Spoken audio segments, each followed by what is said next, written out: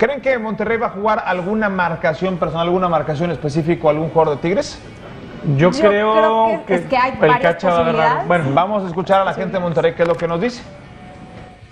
Jugadores importantes con, con su debido respeto, pero la realidad, lo vuelvo a repetir, eh, lo que más nos importa es el funcionamiento de nosotros. Sabemos que ellos tienen jugadores de calidad, pero eh, en su momento nos ocuparemos. Y...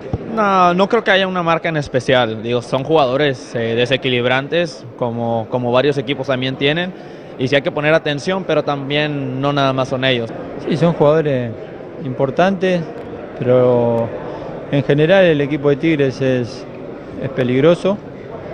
Eh, trataremos de no, de, de no pensar mucho en esos jugadores importantes que tiene.